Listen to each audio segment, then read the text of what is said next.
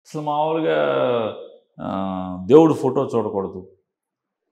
ప్రసాదం తినకూడదు. దాన్ని ఏమంటారు? అంటే అంటే వీళ్ళు వీళ్ళు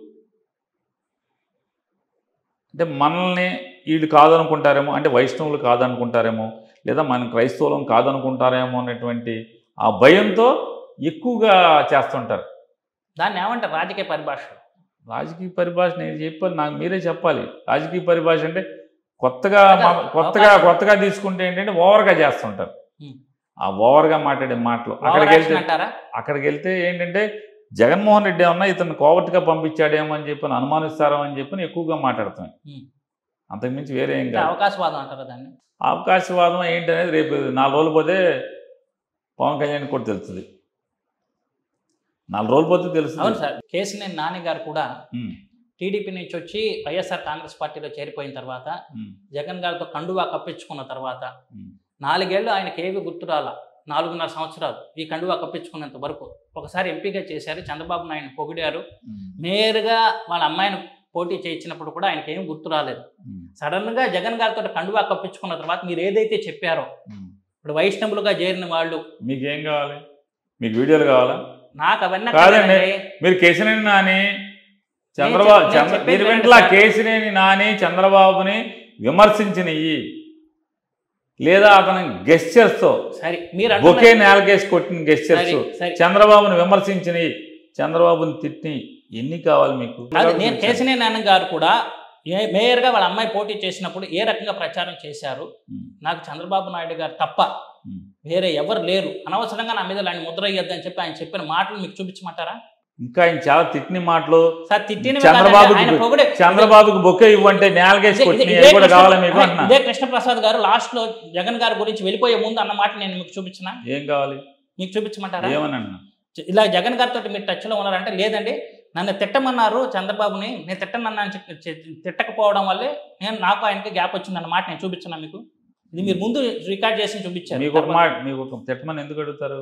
నీ శీలం శంకిచ్చినప్పుడు నీ శీలం చెడిపోయిందని నువ్వు తేడాగా అడుగు తేడాగా ఉన్నావు కాబట్టి నేను టెస్ట్ చేస్తా చెప్తారు. అవును అప్పుడు అలాగే ఇక్కడ కేసునే నాన్నగారు కూడా ఎందుకు కోపడ్డారు? చంద్రబాబు? నాయుడు మీద ఆయనకి ఆయనకి గ్యాప్ వచ్చిందంటే ఆయన శీలాన్ని శంకించుంటారు కదా?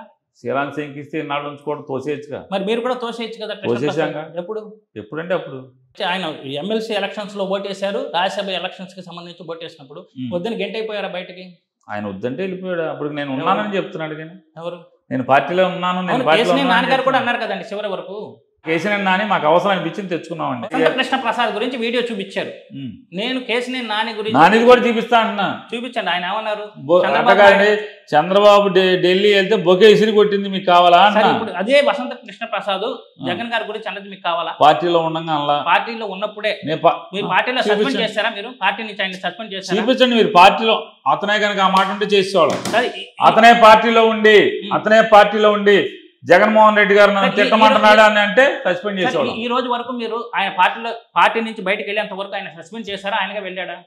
పార్టీని సస్పెండ్ చేశారా? ఈ రోజు అసలు వరకు? మేము వదిలేసుకునే మేము క్యాండిడేట్ని పెట్టేసుకుంటే అసలు మీరు ఇవన్నీ మాడతారేంటండి అక్కడ కూడా అదే కదండి. అతను తెలుగుదేశం పార్టీలో చేరకముందే మేము క్యాండిడేట్ని పెట్టుకుంటే. ఐస్నే నాని విషయం కూడా అదే కదా నేను చెప్తున్నది అక్కడ క్యాండిడేట్ ఆల్రెడీ వాళ్ళు ఇతను వద్దు అని చెప్పేసి వాళ్ళ తమ్ముడికి ఇవ్వడానికి డిసైడ్ అయిన తర్వాత కదా అయ్యని ఓపెన్ అయ్యాడు. కేసీఆర్ నాని వాళ్ళకి అక్కర్లేదు అనుకున్నాక మాకు కావాలనిపించి మేము తెచ్చుకున్నామండి అంటున్నా. అదే వాళ్ళు కూడా అప్లై చేశారు. ఎవరన్నా? ప్రసాద్. తీసుకోండి. నేనేమన్నాను.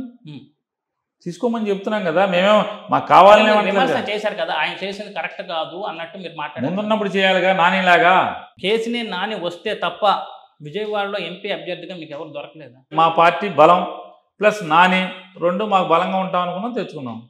అంటే ఐదేళ్ళ పాటు మీకంటూ ఒక క్యాండిడేట్ని తయారు చేసుకోలేకపోయారు? మాకు వంద ఆలోచనలు ఉండొచ్చు కానీ వాళ్ళ ఆలోచన మార్చుకుంటాం. మేము ఏదో చేద్దాం అనుకుంటామండి. మీరు అన్నారు మీరు ఒక మాట అన్నారు ఎమ్మెల్యేలతో సంబంధం లేదు ఎంపీలతో సంబంధం లేదు. జగన్ గారు మొహం చూసి ఓటర్లు ఓటు వేసేస్తారు అన్నారు కదా మీరు. జగన్మోహన్ రెడ్డి గారు కార్యకర్తలు జగన్మోహన్. ఓటర్లు. ఇది ఒక లింక్ పెట్టుకున్నాడు ఆయన. ఈ సిస్టమ్ డెవలప్ చేశాడు పాలిటిక్స్లో. క్యాండిడేట్ ప్రాధాన్యత.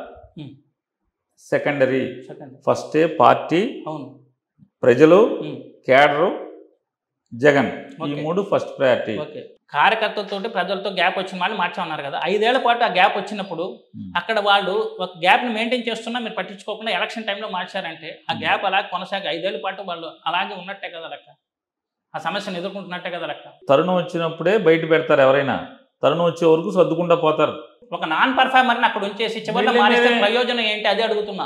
గడప గడపకి అనే programme one and half year క్రితం పెట్టి ఎమ్మెల్యేలందరినీ కూడా కూర్చోబెట్టి అరే బాబు మీరు కార్యకర్తలతో ప్రజలతో మమేకమై తిరగండి. మీ గ్రాఫ్ పెరిగితే ఉంచుతా లేకపోతే పీకుతానని చెప్పి చెప్పి సంవత్సరం అయింది. తీసేస్తే ఓకే మీరు అన్నట్టు. వాళ్ళు తీసుకొని ఇంకో నియోజకవర్గంలో వేస్తున్నారంటే దాని అర్థం ఏంటి? ఇక్కడ ఇక్కడ వచ్చి ప్రజలతో బాగున్నాడు కార్యకర్తలతో బాగోలేదు. పక్క తీసుకెళ్ళి పెడతారు. గ్రాఫ్ పెరగలేదంటే దాని అర్థం వాళ్ళు సరిగ్గా అదేనండి కార్యకర్తలతో బాగోలేదు ప్రజలతో బాగున్నాడు. తీసుకెళ్ళి పక్కన పెడతారు. వేరే చోట ట్రాన్స్ఫర్ చేస్తారు. అక్కడ వాళ్ళు అక్కడ కోఆర్డినేట్ చేస్తారు ప్రజలతో బాగోలేదు కార్యకర్తలతో బాగోలేదు రెండు బాగోలేదు. నెక్స్ట్ టైం ఏదైనా నామినేటెడ్ పోస్ట్ ఇక్కడ పనికిరాని వ్యక్తి ఇంకో స్థలంలోకి వెళ్తే బాగా కోఆర్డినేట్ చేయగలుగుతాడు? పనికిరా కార్యకర్తలతో డిఫరెన్స్ ఇప్పుడు మన ఇద్దరం ఉన్నామండి. కాసేపు మీరు మీరు ఏదో అన్నారు. ఏం మీ రామచంద్రన్ హైదరాబాద్ నుంచి ఎందుకు ఇంటర్వ్యూకి పిలిచావరా అని నేను నేను మీరు అడగంగా నేను ఎందుకు ఒప్పుకున్నాను? లోపల అనిపించవచ్చు కానీ ఇచ్చేసాం కాబట్టి మాట్లాడతాం. అట్టాగే ఏం చేస్తారు? ఇక్కడ ఇక్కడ దురదృష్టవశాత్తు మన గ్యాప్ ఎందుకు వచ్చింది. కానీ నాతో కాదు మీరు చాలామంది రాజకీయాలతో రాజకీయ నాయకులతో ఫ్రెండ్షిప్ ఉంటారు మీరు. అంత మాత్రాన ఒకటితో తగద రకరకాల కారణాలతో తగద వస్తాయి. ఇప్పుడు షర్మిల గారు కాంగ్రెస్తో చేరడం మీద మీ పార్టీ లీడర్స్ అందరూ కూడా తీవ్ర స్థాయిలో విమర్శలు చేశారు. కాంగ్రెస్లో అంటే ఎవరు ఏ పార్టీలో చేరడానికైనా రైట్ ఉంటుందని మీరే చెప్పారు కదా. షర్మిల గారు చేరడం మీద మీకున్న ప్రధాన అభ్యంతరం ఏంటండి? షర్మిల గారే అన్నారు కదా. షర్మిల గారే ఊరు వాడ చెప్పారు కదా. ఓకే. ఊరు వాడ చెప్పారు కదా. ఆఖరికి వైఎస్ఆర్ ఇక్కడ ఇక్కడ ఈ వైఎస్ఆర్ కాంగ్రెస్ పార్టీ తరపున ప్రచార పాదయాత్ర చేసినప్పుడే కాకుండా తను సొంతంగా తెలంగాణలో పార్టీ పెట్టుకున్నప్పుడు కూడా తెలంగాణలో ఊరు ఊరు వెళ్తూ కూడా ప్రతి ఊర్లో ఆవిడ అదే మాట చెప్పారు కదా. కాంగ్రెస్ పార్టీని బతికిచ్చింది మా నాన్న. మా నాన్న మీద కేసు పెట్టింది చనిపోయిన తర్వాత మా నాన్న ముద్దాయి చేస్తూ కేసు పెట్టింది కాంగ్రెస్ పార్టీ. ఓకే. ఆవిడే చెప్పారు కదా. షర్మిల గారు ఒక మాట అన్నారు. ఒక క్రిస్టియన్గా ఉంటూ జగన్ గారు మణిపూర్లో జరిగిన అల్లర్లకు సంబంధించి అక్కడ ఎక్కువ మంది క్రిస్టియన్ మీద దాడి జరిగినా కూడా స్పందించలేదు అని చెప్పి తీవ్ర విమర్శ చేశారు. ఆవిడ కూడా క్రిస్టియనే కదా. ఆవిడ వైఎస్ఆర్టీపీ అధ్యక్షురాలుగా ఉందిగా. ఏం చేసింది అప్పుడు? అప్పుడు ఖండించేసిందా బాగా? ఆవిడ కడుపులో ఏదో ద్వేషం పెట్టుకుని మాట్లాడటం తప్పితే. ఆవిడ ఎవరో చేతిలో కీలుబొమ్మగా మారి ఆ రకంగా మాట్లాడటం తప్పితే ఒక పప్పెట్ కింద మారి ఎవరో భాష నేర్పితే ఆ భాష ఇక్కడ వల్లివేయటం తప్పితే ఇందులో అన్ని ఆవిడ మాట్లాడేది ప్రతిదీ కూడా అసత్యాలు అసత్యాలు. షర్మిల గారు ఇక్కడున్న క్రిస్టియన్ ఓట్ బ్యాంక్ చేల్చడానికి ఒక ప్రయత్నం చేస్తున్నారు వ్యూహ ఆవిడ ఎన్ని ప్రయత్నాలు చంద్రబాబు కోసం ఎన్ని ప్రయత్నాలు చేసుకుంటే చేసుకోమని చెప్పండి. కాంగ్రెస్ పార్టీ డైరెక్షన్లో చంద్రబాబు కాంగ్రెస్ పార్టీకి చంద్రబాబు అనుకూలం కాబట్టి కాంగ్రెస్ పార్టీ డైరెక్షన్లో ఆవిడ ఎన్ని మాటలు మాట్లాడినా ప్రజల్లో జగన్మోహన్ రెడ్డి గారికి ఉన్నటువంటి ప్రేమని ఈషన్ మాత్రం కూడా ఆవిడని కదపలేదు ఆవిడ. చెక్కు చెదరనటువంటి నమ్మకం ప్రజల్లో ఉంది. ఆవిడ ఏమీ చేయలేదు దాన్ని మీకు శత్రువులు పెరిగిపోతున్నారు కదా. ముందు నుంచి ఉన్న శత్రువులేగా? కొత్తగా పెరిగిన వాళ్ళు ఎవరున్నారు? కొత్తగా పెరిగిన వాళ్ళు ఎవరున్నారు చెప్పండి అన్న. కాంగ్రెస్ పార్టీ ముందు నుంచి శత్రువే. భారతీయ జనతా పార్టీ ముందు నుంచి శత్రువే. తెలుగుదేశం పార్టీ ముందు నుంచి శత్రువే. CPI CPM CPM. మేము ఎప్పుడు వాళ్ళతో ఉండలేదు. కాదు జగన్ గారి కుటుంబ సభ్యులు కూడా ఆయనకు శత్రువులుగా మారిపోతున్నారు. రకంగా ఎవరు వాళ్ళ అమ్మగారు మారారా కుటుంబ సభ్యులు అంటే సొంత చెల్లెలు ఆవిడ కుటుంబ సభ్యులు.